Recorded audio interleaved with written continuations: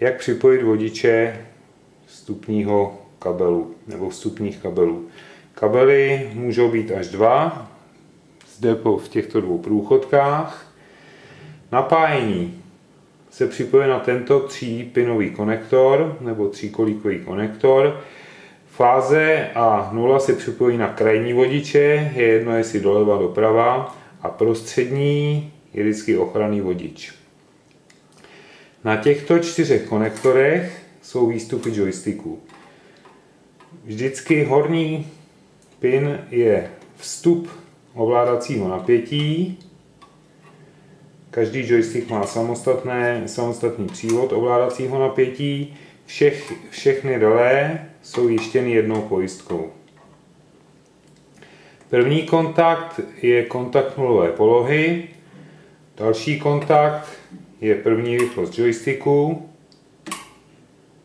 Další kontakt je opačná rychlost joysticku. A další konektory jsou potom stupně. Tady to bude lépe vidět. Takže jeden směr, druhý směr a kumulativně vyšší rychlosti. Ten provozní mod těho spínání relé může být nastaven i, e, na, e, může mít různé způsoby nastavení.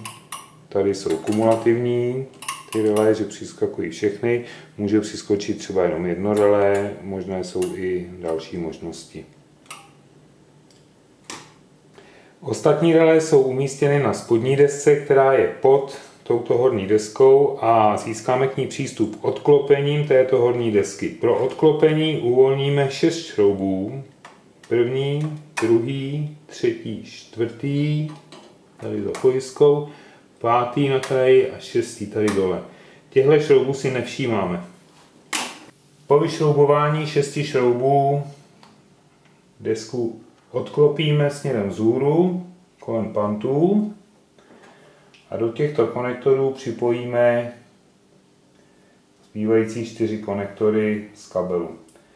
Zde máme dvě stoprelé, které nám po vypnutí systému jsme vypli, když znovu nastartujeme. Sepnuli, e, připojí se na tento konektor, tady je vstup a tady budou výstupy těch dvou relé. Tady jsou další dvě relé, které fungují jako výstraha, buď jako alarm na tlačítko Start Alarm, anebo jako relé přídavné výstrahy, která může, které může být nastaveno třeba jako normální kontakt, přepínací kontakt nebo přídavná výstraha pro joysticky, to znamená pokud je aktivní pohyb e, sepnutý joystickem, tak se může sepnout libované z těchto dvou relé podle nastavení nebo to může fungovat jako varování při nízkém napájení přijímače. A zde na tyto tři konektory nastavujeme zbylých vlastně sedm ovládacích prvků, pět nahoře a ty dvě spodní tlačítka. Vždycky první pin je přívod ovládacího napětí a na zbylé piny nastavuje při, na zbylé piny jsou připojeny ty ostatní relé.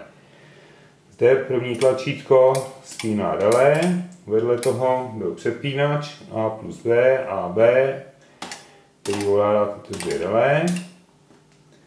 Tlačítka pod displejem fungují na těchto dvou relé. Dvoupolový přepínač on-off, který byl zcela vpravo, funguje na tyto dva, dvě relé. A zde ještě máme místo na ten prostřední přepínač, který tam nemáme. Teď momentálně může být otočný AB, A plus B nebo ABC. Po zapojení kabelu desku přitlačí, přiklopíme zpět a zašroubujeme 6 šroubů. Po přitažení těchto 6 šroubů na přijímač nastavíme, nasadíme kryt Namantujeme přijímač na silem bloky, připojíme vnější anténu, zapojíme kabely do rozvaděče a můžeme systém používat. Pokud byste se montáží kabelu nechtěli zdržovat nebo byste si na ní netroufali, není problém eh, objednat montáž kabelu a zapojení před dodáním systému u nás v Česká.